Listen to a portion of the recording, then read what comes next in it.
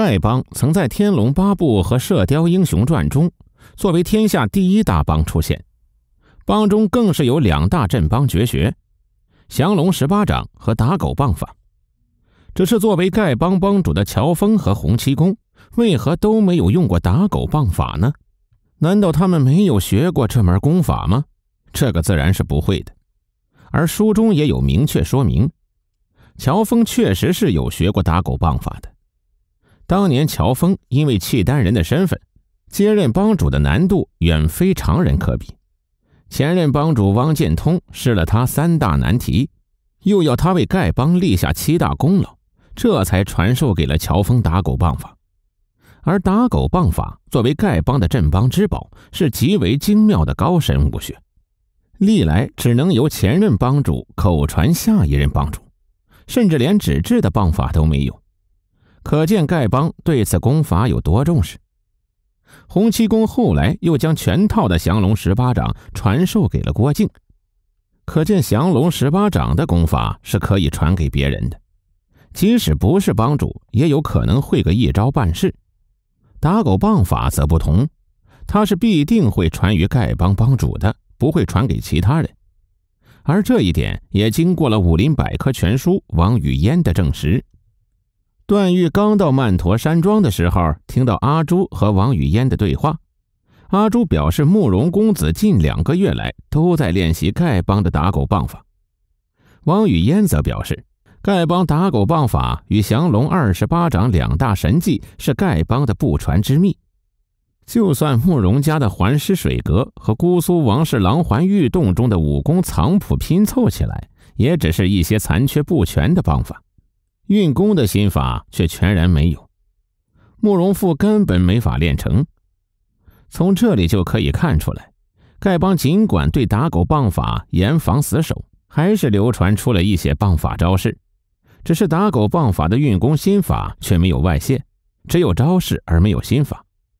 而到了《射雕英雄传》中，打狗棒法显得更为神秘一些，神秘到什么程度？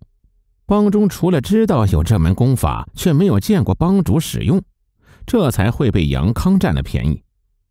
杨康得到打狗棒后，知道是丐帮帮主信物，便想趁机夺取帮主之位。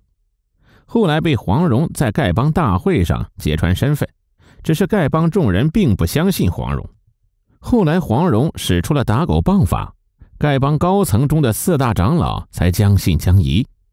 即便如此。简长老还是认为，黄蓉用的棒打双拳是江湖上的空手夺白刃。后面更是说，帮中人对于这套棒法都只是只闻其名，没有见过，没人能分辨真假。这里就可以看出来，丐帮大会上没有一个人见过打狗棒法，包括四大长老中的简长老和卢有角，这些还都处于丐帮中的高级管理层，一把年纪且在丐帮多年。却从来没有见过打狗棒法，更不用说底下的其他丐帮弟子了。可见帮主洪七公多年来和人对打，也从来没有用过打狗棒法。在天龙末尾，乔峰为了避免丐帮这两门绝技失传，将打狗棒法和降龙二十八掌传给了义弟虚竹，由他代传给丐帮继任掌门。虚竹记性好，人又灵悟，且有小无相功根基。打狗棒法虽难，却也难不过天山折梅手、天山六阳掌等高深武功。乔峰只教了一个多时辰，虚竹也就会了。这两门功夫虽然都是丐帮的镇帮绝学，但是打狗棒法的易学程度远比降龙十八掌容易。这一点在《射雕英雄传》中，北丐洪七公也有提到过。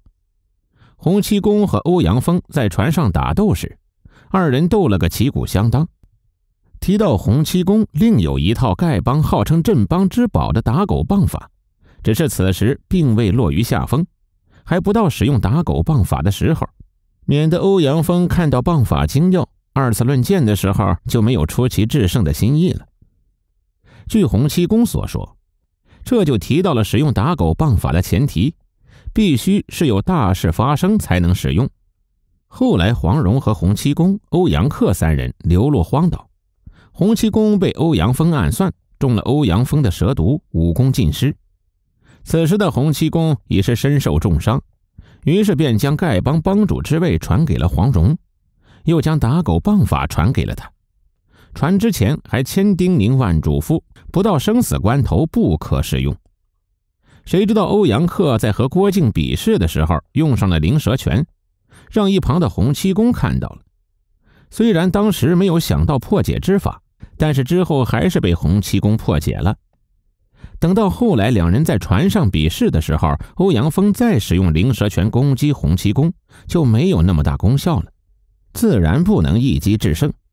相同道理，洪七公将打狗棒法传给黄蓉之后，黄蓉曾用打狗棒法和欧阳锋过招。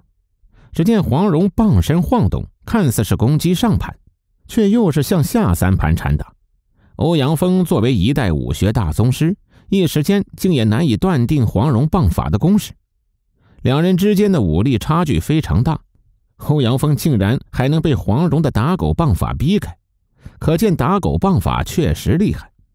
也难怪洪七公会想留着到华山论剑的时候用了。等到了第二次华山论剑的时候，洪七公终于用上了打狗棒法。洪七公和欧阳锋两人在华山决斗，两人比完拳脚，开始比武器。洪七公让杨过使出全套打狗棒法的招数，即便如欧阳锋这样宗师级的人物，也必须绞尽脑汁、耗尽心力，才能一一想出破解之道。可见打狗棒法虽然招式精妙无比，但还是有破解之法的，不像降龙十八掌，让对手根本没有办法破解。这一点黄蓉看得也比较透彻。黄蓉在传授鲁有脚打狗棒法的时候。被杨过、郭芙、大小五他们看到，黄蓉使用打狗棒法的巧劲儿，让三人同时跌倒。郭芙说：“打狗棒法是骗人的玩意儿。”黄蓉也表示女儿说的不错，打狗棒法这些功法都是用巧劲儿使诈，像郭靖的降龙十八掌才是真功夫硬皮，连黄蓉都能看懂的事情，乔峰和洪七公这样的高手怎么会看不懂呢？除去丐帮这两项镇帮绝学，还有早已失传的擒龙功、排云双掌，连普通的太祖长拳在乔峰手里都能发挥出极大的威力。乔峰有那么多武功可以用，自然没有必要去用打狗棒法。乔峰契丹人身份被揭穿后，被逐出了丐帮，将丐帮信物打狗棒一起交还给了丐帮。之后的乔峰已经不是丐帮中人。自然也没有理由再用打狗棒法了。